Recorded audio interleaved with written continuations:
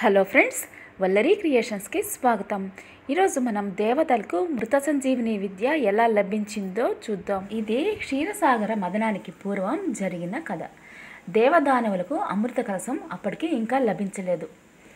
దేవదానవుల మధ్య యుద్ధాలు అతి భయంకరంగా జరిగేవి.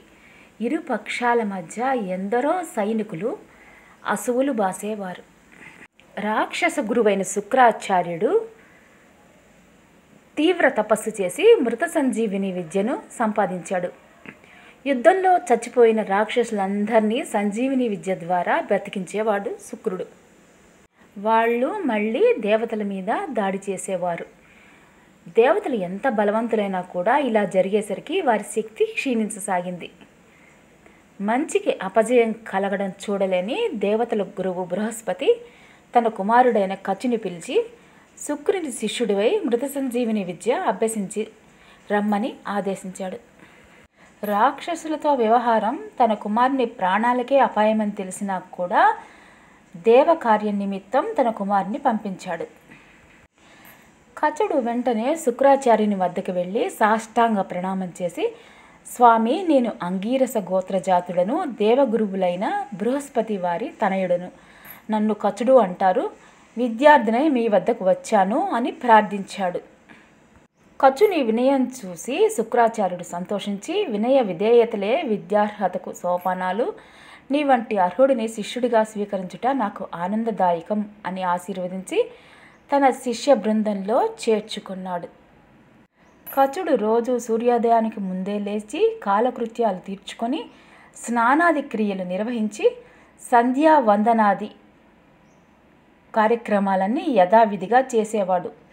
తీవ్రమైన బ్రహ్మచర్య నిష్ఠను అవలంబిస్తూ ఎంతో ప్రీతితో గురువుకి సేవ చేసేవాడు. భక్తి ఏకాగ్రతలతో వేద శాస్త్రాలను అభ్యసించేవాడు. శుక్రాచార్యునికి యవ్వనవతి త్రిలోక సౌందర్యవతి అయిన దేవయాని అని పేరు గల కుమార్తె ఉండేది. ఆమె సౌందర్యం అద్వితీయం పైగా కచునిపై మనసు పడింది. కానీ కఠోర బ్రహ్మచర్యుడైన కచుడు ఆమెను సరిగా చూడను కూడా చూడలేదు. కచుడు గురుపుత్రి అయిన దేవయానిని సోదరిగా భావించేవాడు. కచుని వినయం సంస్కారం విద్యలపై ఉన్న కుతూహలం అతనిని శుక్రాచార్యునికి ఎంతో ప్రియునిగా చేశాయి. కచుని మంచితనం చూసి అసూయతో మిగతా రాక్షస శిష్యులందరూ సమావేశమై ఇలా అనుకున్నారు. వీడు మన శత్రువుల పక్షము వీడికి మృత సంజీవిని విద్య లభిస్తే అది మనకి అపాయకరము. కనుక వీడిని చంపి పారేద్దాము. శుక్రుని గోవులను కాచి అడవి నుంచి ఇంటికి తిరిగి వస్తున్న కచుని నిర్దాక్షిణ్యంగా చంపేశారు ఆ రాక్షసులు. కచుడు రావడం ఆలస్యమైందని చింతించి దేవయాని తండ్రితో నానా ఎంత అవసరం వచ్చినా కూడా సాయంకాలం సంధ్యావందన సమయానికైనా ఆశ్రమానికి తిరిగి వచ్చేవాడు కచుడు. ఇవాళ ఇంత పొద్దెక్కినా రాలేదు. దయచేసి మీ దివ్య దృష్టితో కచుని జాడ తెలుసుకోండి అని ప్రార్థించింది. శుక్రాచార్యుడు దివ్య దృష్టితో జరిగినది తెలుసుకుని వెంటనే తన మృత సంజీవిని విద్యతో కచుని బ్రతికించాడు. ఈర్ష్యతో రగిలిపోతున్న రాక్షసులకు ఈ విషయం తెలిసింది.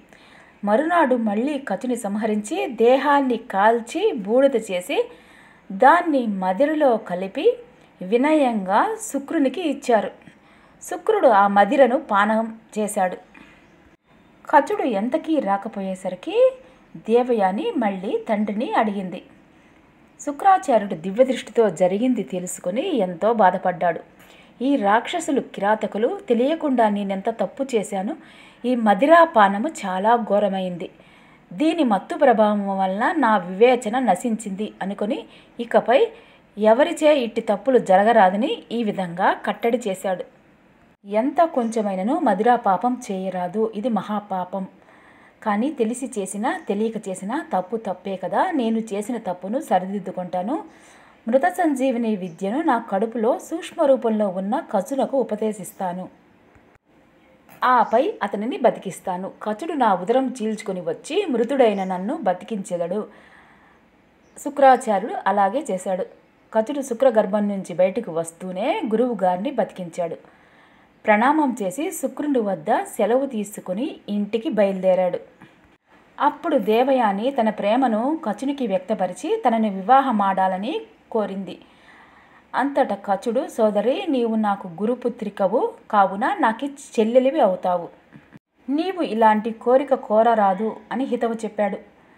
నిరాకరించిన కచునిపై క్రోధంతో దేవయాని ఇలా శపించింది. నన్ను హింసించిన ఫలితంగా ఈ విద్య నీకు ఉపకరించదు పో. దేవయాని అమాయకత్వాన్ని చూసి ఇలా సమాధానమిచ్చాడు కచుడు. చెల్లి విద్య ఎప్పుడూ నిరుపయోగం కాదు. ఈ విద్య నాకు ఉపకరించకపోయినా పర్వాలేదు. అర్హులైన పరులకు నేర్పి వారికి ఉపయోగపడతాను. సమాజ శ్రేయస్సుకై నా విద్య ఉపకరించుట కన్నా నాకేమి కావాలి అని చెప్పి ఆనందంగా తిరిగి వెళ్ళిపోయాడు కచుడు. చోరులతే దొంగలింపబడనది. అర్హులకు పంచి ఇస్తే పెరిగేది విద్యాధనం ఒక్కటే. విద్య యొక్క గొప్పతనం మనకి కచుని అమృత వాక్కుల ద్వారా ఈ కథలో తెలుస్తుంది.